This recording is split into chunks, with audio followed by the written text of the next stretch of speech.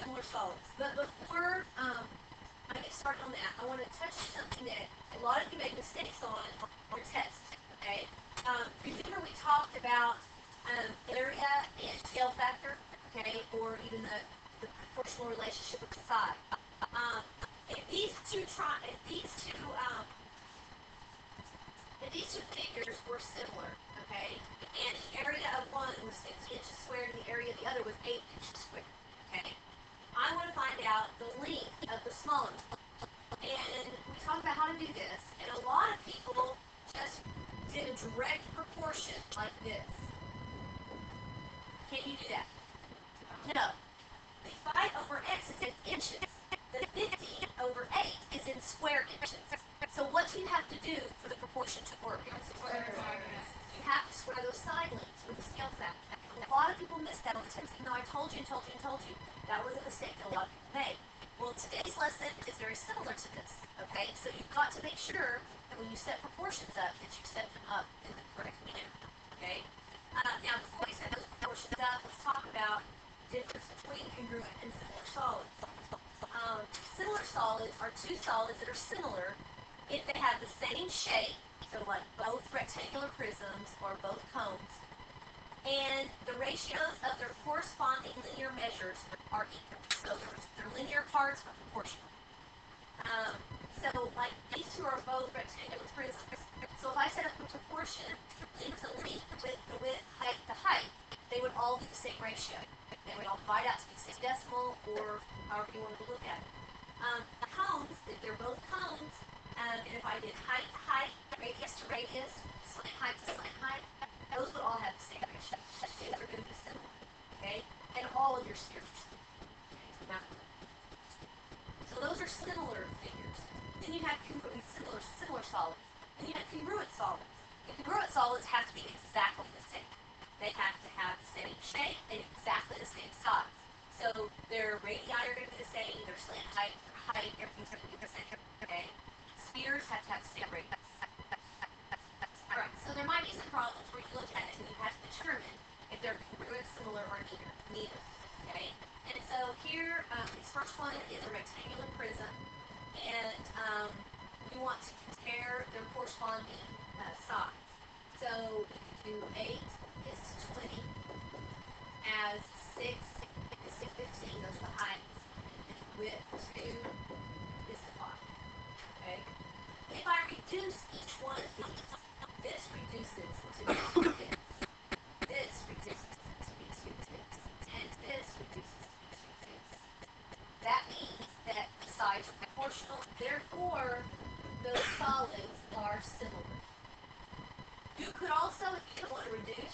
You could just divide out.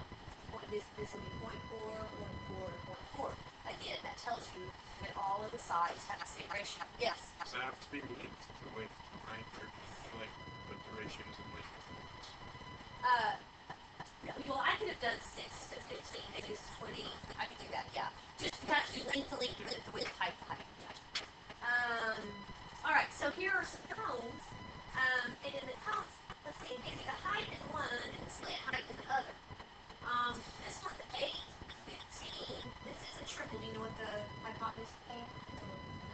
12, it has to be greater than 15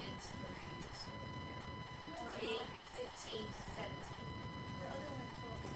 The other one is 12. Okay. Oh, that's one year old. I was pointing to this one. Okay.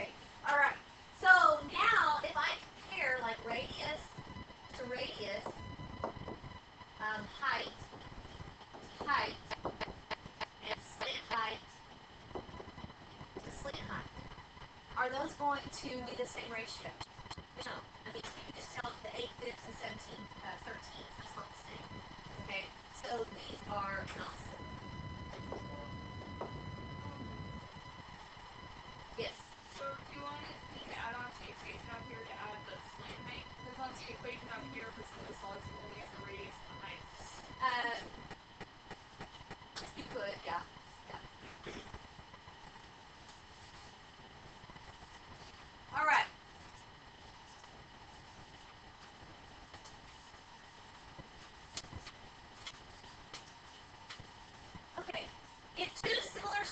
have a scale factor of A to B, then the surface areas have a ratio of A squared to B squared, and the volumes have a ratio of A cubed to B cubed.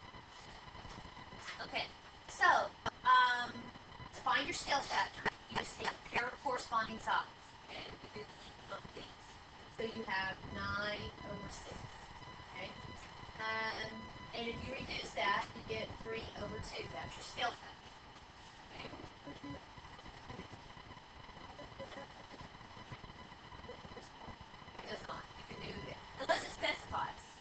I, like, I usually do it left to right. Yeah, I kinda like I read, I do it left to right, but if it doesn't specify, there's no specific.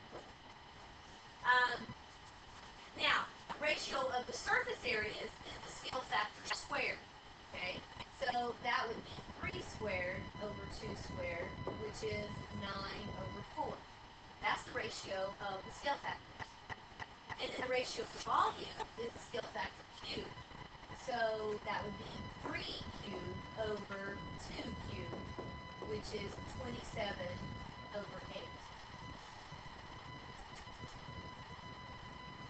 Okay, so ratio of the surface areas is the scale factor squared, the ratio of the volume is the scale factor cubed. Now I could work backwards from that. Um, let's say um, the ratio of the volumes, a different problem. The ratio of the volumes were, excuse me, the surface areas were 16 to 25. Okay. Um, then what would the scale factor? What would you do to find the scale factor? You would take the square root to find the scale factor, and so it would be 4 to 5. Okay. Um, different problem here. Uh, let's say it was 125 over 343. That's the ratio of volumes. What would you do to get it to the um, scale factor? You do the cubic root. Okay, and the cubic root of 125 is uh, 5, and the cubic root of 343 is 7. Uh, the cubic root, you know, type 3, and then there's an x right above, and then you type like 125. Okay, find it. All right, so that's kind of how you go back and forth uh, between. Okay, so two similar prisms have a surface area of 98 square centimeters and 18 square centimeters. What is the ratio of the height of the large prism to the height of the small prism? So it's giving us surface areas, and they're wanting the ratio of the height, which is the scale factor. Okay? Um, and it wants the middle of this one. This one does specify, so you have to go get this. Um, all right, so my surface area ratio is 98 over 18. And I want to take scale factor. Now up here, when we did that, we, we took the square root, right, to get to the scale factor. But these are not perfect squares, are they? But what do you notice about this fraction? It can be reduced, right? So always reduce them. Most of the problems today, I think almost all of them work out nicely. Okay? Um, so if I uh, reduce this, I can divide both of these by 2, and so that gives me 49 over 9. Okay? So I'm taking it to the scale factor, and to go from surface area to scale factor, I have to take the square root. Okay? So if I take the square root, I end up with 7 over 3 for the scale factor. Okay? Alright, here's another one. For that one, yeah, that's all they want. They just want the scale factor. Okay? But we're going to do more here in this next one. Okay, uh, the surface area of two similar figures are 16 centimeters squared and 49 centimeters squared. The volume of the larger figure is 216 centimeters cubed. Find the volume of the smaller. Okay, so here they're giving us surface area, and they give us the volume of one. We want to find the volume of the other. There's got to be a middle step. If they give us the surface areas, we have to break it down to the scale factor. And then once we find the scale factor, have to cube it up to the volume. Okay? So, it gives me a surface area of 16 and 49, right? So my ratio is 16 over 49. To get to scale factor, what do I do? I take the square root. So my scale factor is 4 over 7. Okay? Now, I need to go to volume. Okay? Alright? So that I can set a proportion. Okay? You know how I showed you all ago? You can't do side to side, area to area. Well, you can't do scale factor to scale factor, volume to volume. What are you going to do with scale factor? You have to cube it. Okay? So I have to cube that scale factor, okay, to get to my volume ratio. And 4 cubed is 64, and 7 cubed is 343. I think. Okay? 4 cubed 64. It is, it is, okay. Alright. Um, so I'm going to take now this volume ratio, 64 over 343, and I can set a proportion up with the volume. Okay, and they give me the volume of the larger, I want the volume of the smaller. So the x goes on top, and the 216 goes on the bottom. Okay, so I cross multiply 216 to get the volume of the larger. And it goes to the bottom. Oh, I was looking at the other.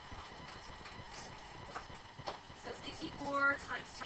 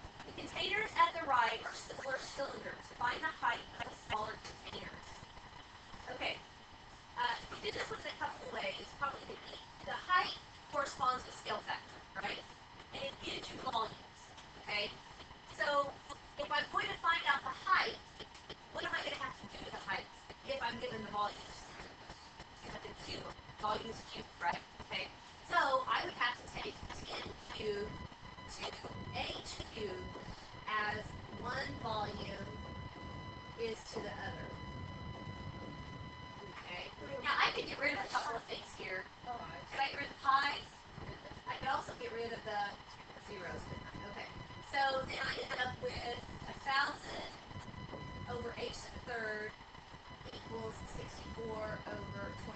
I can probably three. Okay. Uh, so we get 27,000 equals 64 h to the third. Divide both sides by 64 pretty sure you get a terminating decimal. This seven five. So four twenty-one point eight seven five equals h to the third. Okay, so what do I do then to get h if it's equal to h to the third? Not divide it, but you take the cubic root, right? Yeah. Yeah, you take the cubic root. Okay. So remember in your calculator, you type three for root, and then you have that x radical button, then you type four twenty-one point eight seven five.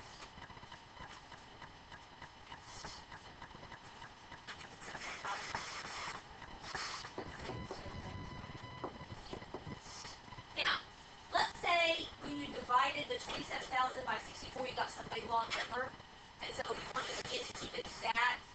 If you could, what you could do instead of this, this right here, you could have uh, taken the twenty-seven thousand and divided it by sixty-four. Okay, and so if you did that, you took the cubic root of that. Okay, you took the cubic root of that division, half to put around it, gives you a weird answer. Okay. Uh, yeah, it's order of operations. So make sure that if you're not going, you know, if this is not a nice number when you when you divide it out, and you do have to do the division, that you put that division in parentheses. Does that make sense? Okay. All right. Last one. The volume of two similar figures is 125 inches cubed and 343 inches cubed. The surface area of the smaller figure is 625 inches squared. Find the surface area of the larger. what do they give us here? Us what? Volume, right? So I can do a volume ratio, one twenty-five over three forty-three. If this can be reduced, reduce it, okay? This one can't, alright? So then I want to go to scale factor, because I got to get to scale factor before I can go to surface area. So what do I do the volume ratio to get to the scale factor? right? So I'm the cubic root of both of those. And so my scale factor is 5 over 7.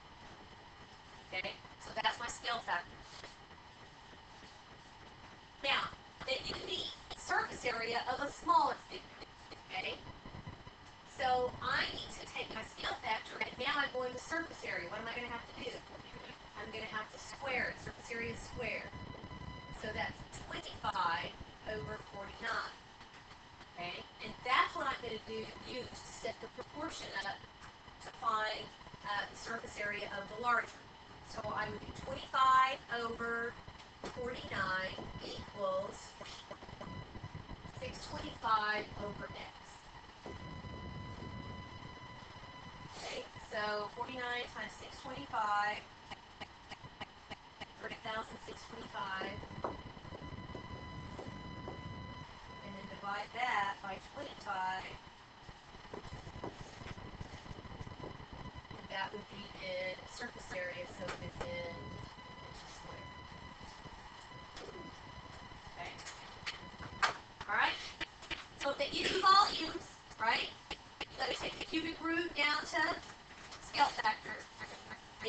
Scale factor, if you're going to surface area, you gotta square it, right? And vice versa. If they give you surface area and you go to scale factor, you take the, square root, right? And if you're gonna go to volume, then you have to cube it up to volume, okay? And they might just ask for, for scale factor, they may not ask